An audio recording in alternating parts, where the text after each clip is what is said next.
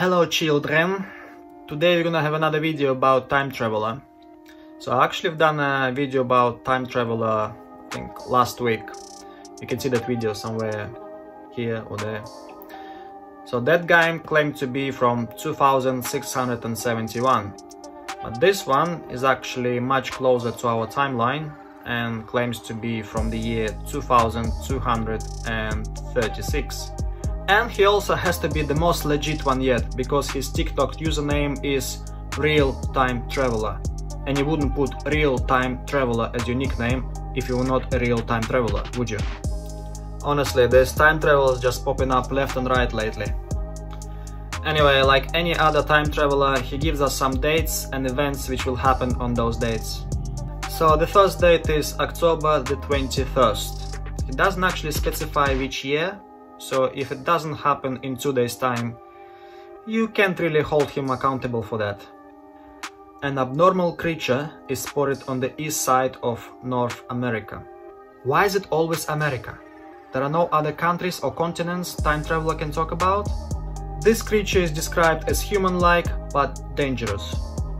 So the next date is uh, December the 12th. Again, no year is given. The alien species Azarx I have never ever heard of them. We are all waiting for Lizard Man or for the Grey Ones to finally reveal themselves in front of us. But it will be Azarx, the one we have never heard of before. But then on the other hand, you know, it just can be what they call themselves, Azarx. We just know them as Grey or Lizard Man. Okay, I'll give him that. So, the alien species Azarx are finally publicized and make news in every continent. Oh, so he knows about the continents. I just wonder if he can name them all. And I'm gonna give you the final date, and this one is actually interesting because he actually names the year. So the date is January 16th, 2023. And if we assume that he was going chronologically, so the first two dates will have to be in 2022.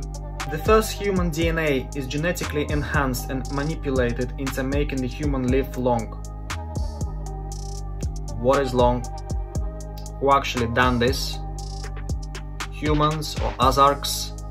Are you working together with them or did they take over our planet and then just started these gene modification projects without our consent? Again, just million questions without any answers. He continues, uh, this DNA manipulation will increase a human strength and will make smarter descendants. A win-win for us, huh?